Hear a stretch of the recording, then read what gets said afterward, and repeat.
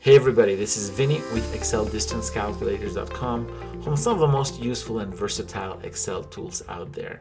My goal today, like we've been doing for the last 16 years or so, is to provide you, to showcase you a tool that will allow you to perform uh, and automate a specific task in your business. Um, hopefully this uh, task will allow you to save time, save money, and hopefully make your life just a little bit overall easy.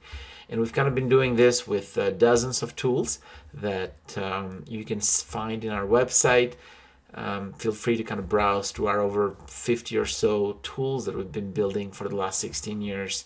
And also make sure that you go over to some of the reviews that we have in our um, in our website and also on Google Review, uh, just to see what a lot of uh, our customers like yourself say about us. So today's tool is a tool that will allow us to convert zip code or postal codes to city and state and county in Excel. Um, again, a little bit of a preamble to this. As I mentioned, all of our tools are uh, built in Excel, and as such, there's nothing to install. What I pride myself in is using what's called what I call a three-step approach. So if it takes longer than three steps to complete uh, the project, then you know then we have to revisit it. So all of our tools uh, take three steps or less to complete.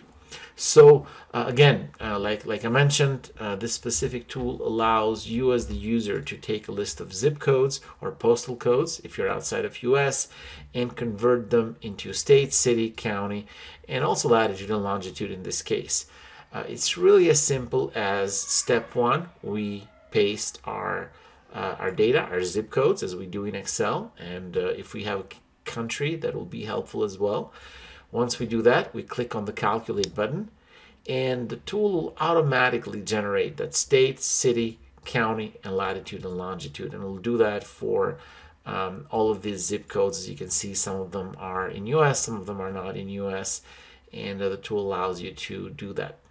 Uh, and it's really as simple as that. Um, please be mindful, this tool does use Google Maps API, and as such, you'll need to get a Google Maps API key. I've made that extremely easy for you.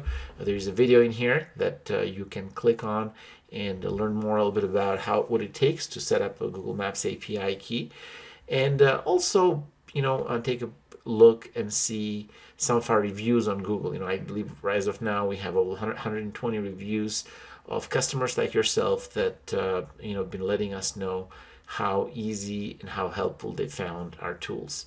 Uh, I get emails from you guys um, uh, almost weekly about you know kind of uh, how our tools have stood up to its name uh, for their easiness, easy to use, simplicity, and efficiency. Uh, one more part of that, you know, another thing that I pride myself in is white glove support. So if there is anything that you need, here's my phone number, here's my email. Feel free to reach out and uh, let me know if you've got any questions.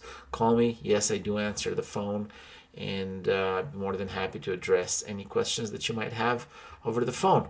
And if email is your thing, feel free to do that as well. Thank you very much for watching this. Uh, to download this tool. Again, there's a link in the description. Feel free to click that link and uh, download the tool, and hopefully, this will help you be a little bit more efficient today. Thank you.